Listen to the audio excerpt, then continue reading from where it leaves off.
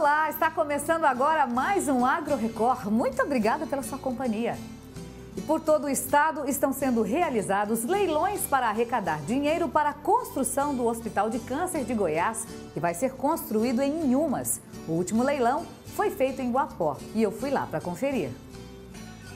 O leilão em prol da construção do Hospital de Câncer de Goiás já foi feito em várias cidades do estado. Agora passa por Guapó. Para Goiás vai ser um, ser um grande ganho né, para a população goiana, se não da região centro-oeste brasileira, em poder contar com uma unidade de tratamento de uma doença tão complexa que é o câncer. Todos nós abraçamos essa causa com muito amor. Hoje nós temos aproximadamente uns 12 leilões grandes startados.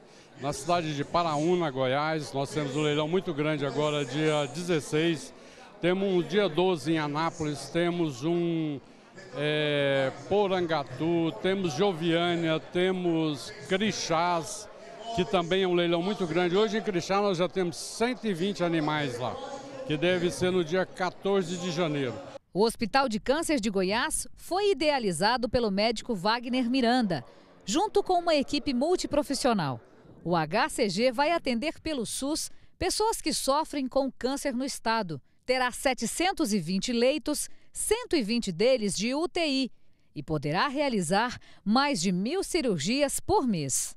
No país, são praticamente 500 mil casos de novos cânceres, de, novos, de, de novas pessoas acometidas dessa enfermidade. Então, essa dificuldade de acesso, seja para o diagnóstico, seja para um primeiro tratamento, a continuidade é, longa é, é, de assistência desses pacientes, então nós é, trabalhando com a comunidade, esse projeto nasce da comunidade, isso é interessante, né? De profissionais da área da saúde, de profissionais de outras áreas, da comunidade em geral. Aqui em Guapó, o leilão solidário recebeu o apoio de vários produtores e pecuaristas. Mais de 120 animais foram arrecadados e vão ser arrematados aqui. Toda a renda do leilão será revertida para a sequência da construção do HCG. O que, que o senhor conseguiu arrecadar? 50 bezerros, um, mais umas coisas, uns arreios, dinheiro. O coordenador do leilão acredita que a solidariedade é um motivo nobre para o evento. É uma correria muito grande, mas é muito gratificante saber que é uma doação em prol do próximo. A atmosfera de solidariedade por aqui foi tão grande que até as crianças resolveram ajudar. Que é o caso do Gustavo. Você também ajudou no leilão? Ajudei. O que, que você fez? Pintei. Você pintou muito? Pintei. Mostra pra mim onde você pintou. Aqui, lá e lá. Trabalhou muito. E esse é um projeto que a Record TV Goiás também abraçou com muito carinho. Agora eu quero que você acompanhe comigo aqui, ó, nossa semana, essa tabela, gente. A soja balcão, preço médio, saca de 60 quilos em Chapadão do Céu, sendo comercializada a R$ 68,75, em cristalina a 70 reais. A variação é negativa em 0,71%. Para essa semana também, o preço do milho, preço médio da saca de 60 quilos, em Acreúna R$ 27,00, em Cristalina R$ 27,83, variação positiva de 1,04%. Horticultores que plantam tomate nessa época do ano estão tendo muitos prejuízos por causa da chuva e das pragas que atingem as plantações. Vanderlei Cordeiro está preocupado. Ele planta tomate em Goianápolis há 30 anos e é um dos poucos que cultiva o fruto no verão. Por aqui, metade dos produtores abandona a atividade no período chuvoso. E os que continuam só colhem 50% do que plantaram. É que a plantação está tomada de pragas. Além desse problema, o tomate não gosta de chuva. Para fazer a lavoura ir para frente nessa época, tem que gastar muito dinheiro e ainda contar com a sorte. Para você ter uma ideia de como é que fica cara a manutenção de uma lavoura como essa aqui do Vanderlei, ele gasta cerca de 10 mil reais para fazer uma pulverização polivalente aqui nas plantas dele. Se acontecer de chover no mesmo dia, ele simplesmente perde essa pulverização que deveria continuar agindo na planta por até 15 dias. Ou seja, gastou 10 mil reais hoje, a chuva caiu, amanhã ele precisa pulverizar de novo e aí ele vai ter gasto o dobro do que ele gastaria numa época de seca, sem a garantia de que na segunda pulverização a chuva não vai cair. Então, a isso aí, a produção está ficando baixa e o custo alto. E por aqui a chuva não tem dado trégua. O índice pluviométrico está cinco vezes maior que a média para essa época do ano. Para se ter uma ideia, até hoje essas mangueiras de fértil irrigação não foram sequer ligadas. Com as plantas mais fracas e os defensivos escorrendo com as chuvas, as pragas e doenças tomam conta da lavoura e a produtividade despenca de 5 mil para 2.500 caixas por hectare. Edmir também é produtor, mas tem formação em agronomia. Por isso conhece bem os problemas do tomate de verão. A gente vem brigando contra doenças bacterianas, doenças fúngicas, que adoram né, esse tipo de clima, que é chuvoso, que aumenta muito a umidade relativa do ar, com altas temperaturas, isso aí para doença é um prato cheio. Para conseguir administrar a lavoura, Edmar e Vanderlei só plantaram metade do que costumam plantar em tempo de seca. Com menos produtores plantando, menor área cultivada e menor produtividade, apenas um quarto da quantidade normal de tomates é ofertado ao mercado. E a lei da oferta e da procura é clara. Por isso, o preço do tomate assusta. No inverno, ele custa entre 15 e 30 reais a caixa. Atualmente, essa mesma caixa já chegou a 120 reais. Ultimamente, né, nessa chuva aí, não está conseguindo fazer uma horta barata. Então, assim, o preço é alto, mas não é culpa nossa, não é nós que coloca o preço. Isso aí é devido à oferta e, e, e procura. O jeito é se dedicar a combater as doenças. Um dos principais problemas é o talo oco. Aproveitando a ferida causada por insetos, uma resistente bactéria se infiltra na planta e destrói as estruturas que transportam a seiva, matando a planta de fome. E a responsável por esses ferimentos é a mosca minadora, que coloca ovos nas folhas do tomate. Quando nascem as larvas, elas comem a folhagem, deixando um rastro de destruição. A colheita será em 15 dias, uma luta contra o tempo e contra os prejuízos. Produtos que a gente utiliza para controlar essa praga são de alto custo. Então isso aí só vem onerando né, é, o, o, o custo área do produtor. É hora do quadro Senar Goiás, do campo à cidade. Neste domingo serão apresentadas ideias tecnológicas para solucionar desafios enfrentados pelos produtores rurais. É a final do desafio Agro Startup Hack Innovation, realizado pelo Senar Goiás e Sebrae. E para falar mais sobre esse desafio, recebo aqui hoje a Simone Oliveira. Ela é gestora técnica do convênio Senar-Sebrae.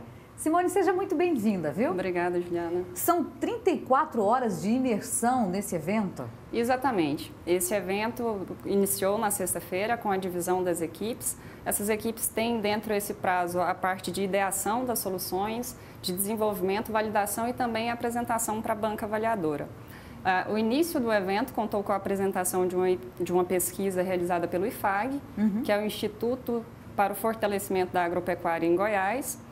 E, de, e nessa pesquisa foram levantados os seis principais temas de desafios, de dores para o setor produtivo. Né? Dentre esses temas, a gente tem a questão de acesso ao crédito, a questão de análise de fertilidade de solo, a questão de eficiência no uso de defensivos agrícolas e desde então, esses mais de 80 profissionais estão debruçados tentando encontrar soluções para esses desafios, para essas dores. Tudo voltado para a tecnologia. Tudo voltado para a tecnologia. O desafio Agro Startup já é um sucesso, né? Certamente. Estamos na nossa segunda edição. Em 18 dias, nós recebemos mais de 230 inscrições.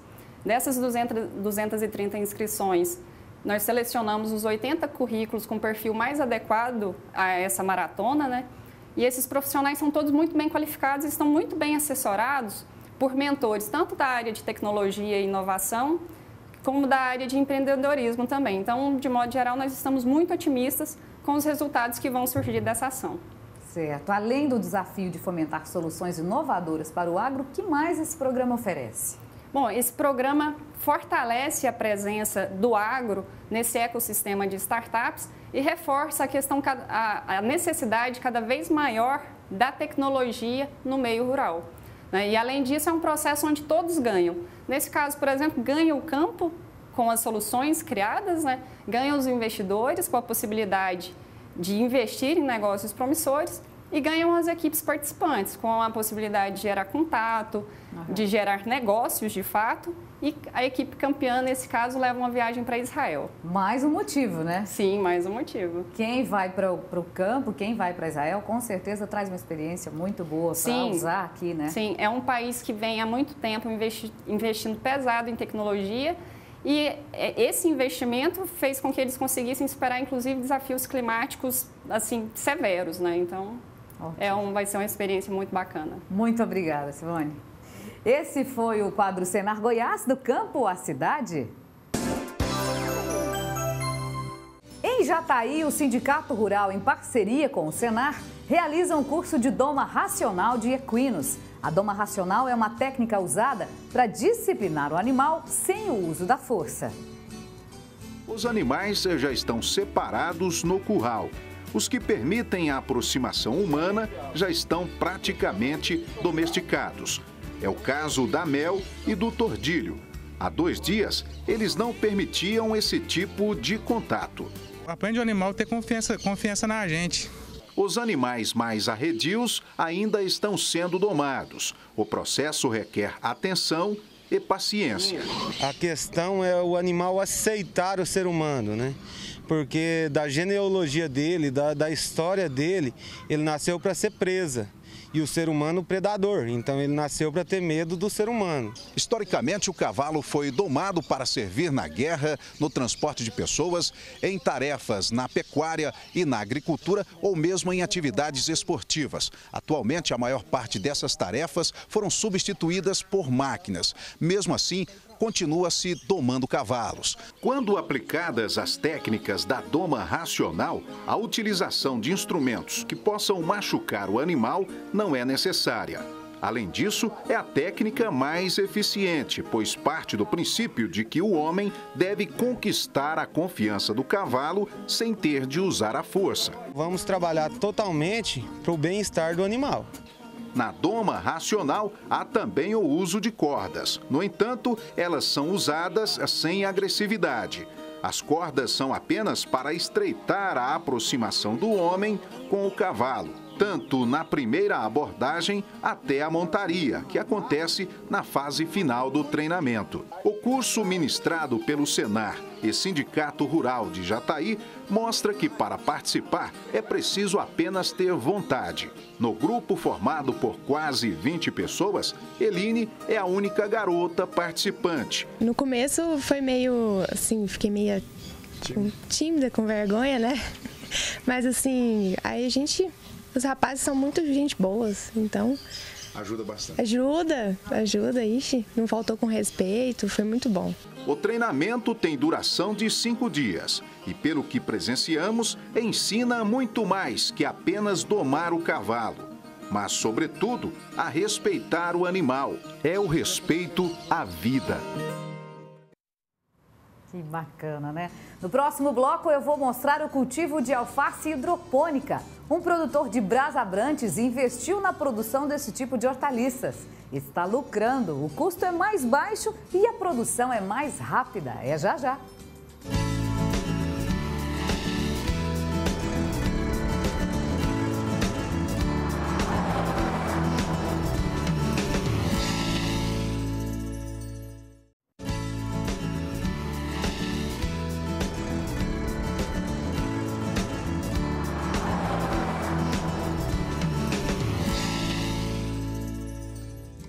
Voltamos com o Agro Record. Obrigada pela sua companhia. Em Cristalina, a produção de feijão de sequeiro sem uso de irrigação deve aumentar este ano. É que por lá as chuvas estão generosas. Mesmo assim, os produtores estão preocupados principalmente com os custos de produção, que aumentaram muito por conta do preço do diesel, dos fertilizantes e também dos defensivos agrícolas. Zé Aurélio Mendes.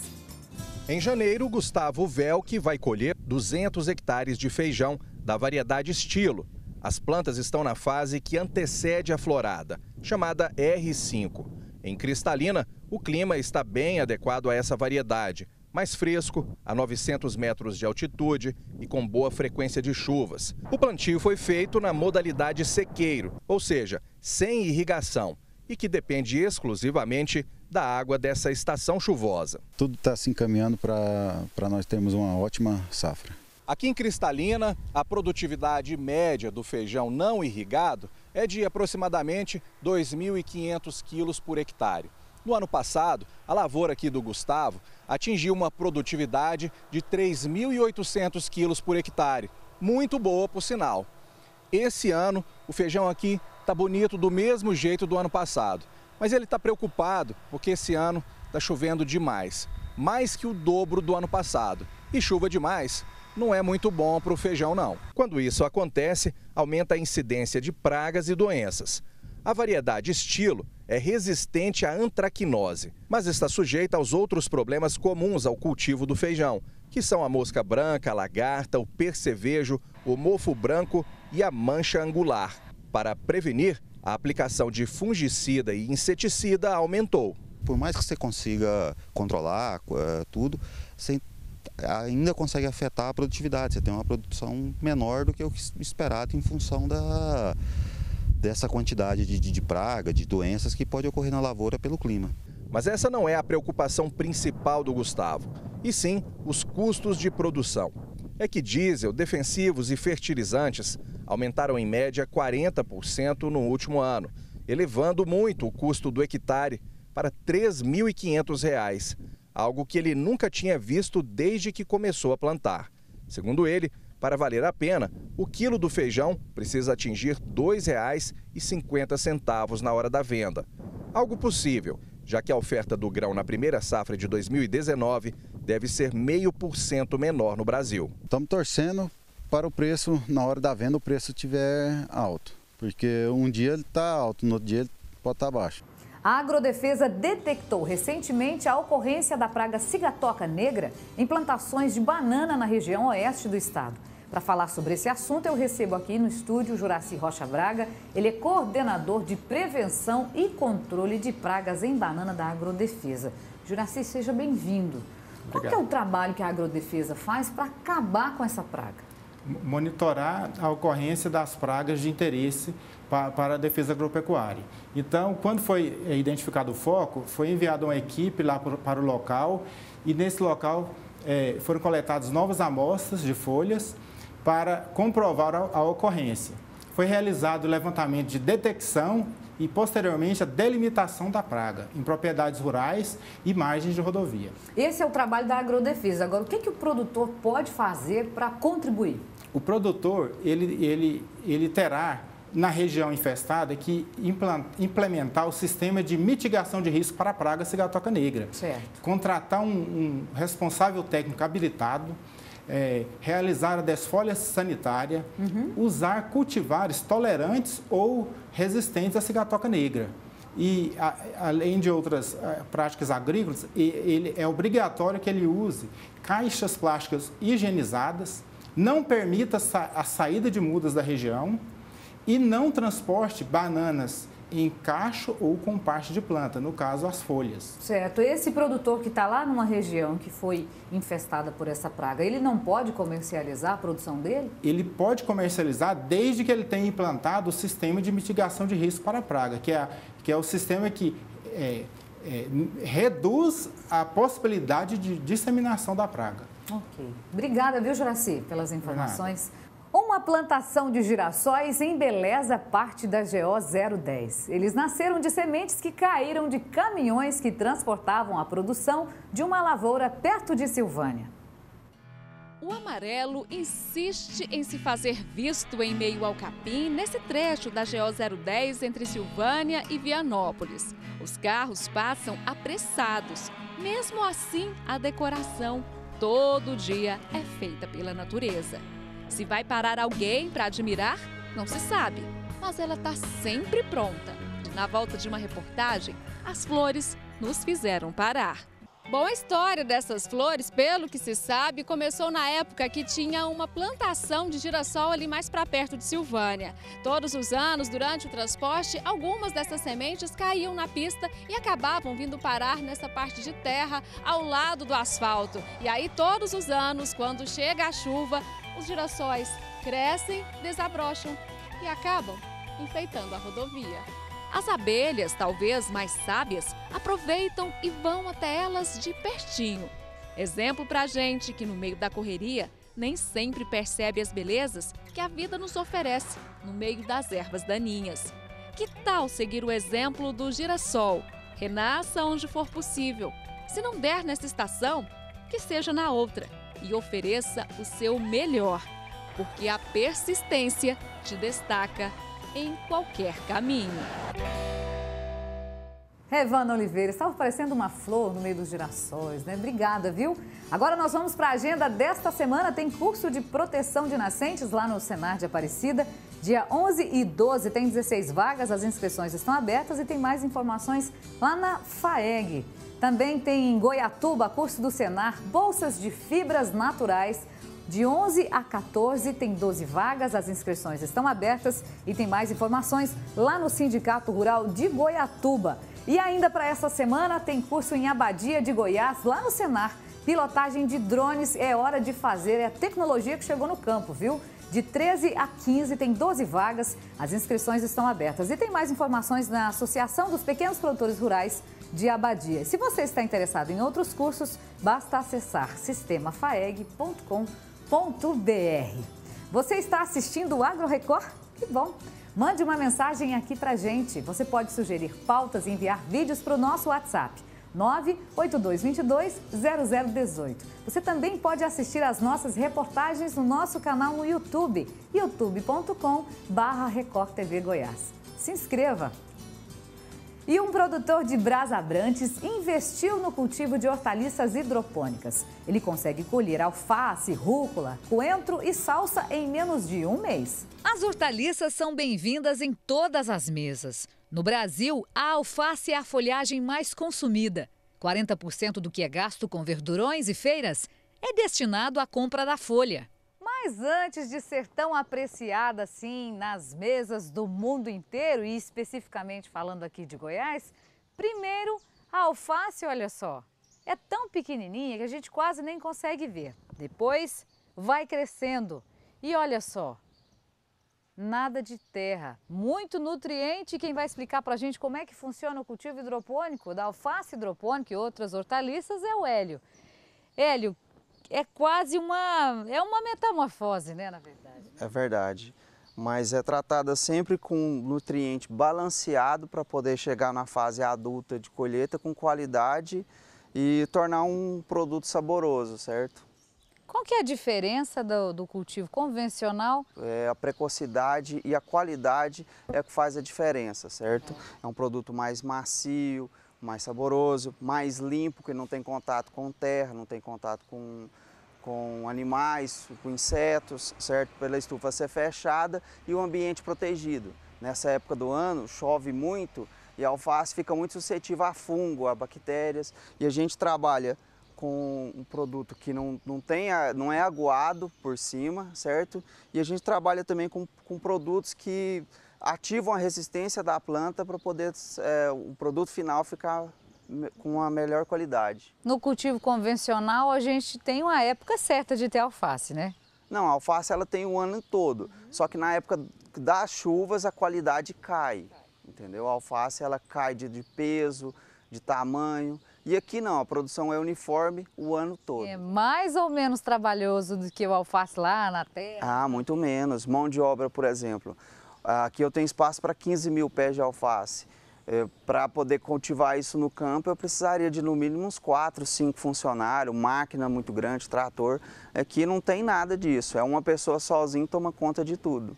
Com oito meses de produção de hortaliças hidropônicas, Hélio já tem venda garantida de 8 a 10 mil pés por mês. Se fosse no modo convencional, a gente chamaria de canteiro. Mas como é o modo hidropônico de cultivo aqui, a gente chama de bancada. Só aqui tem 600 pés, mais de 600. E a produção já está toda vendida para um grande supermercado.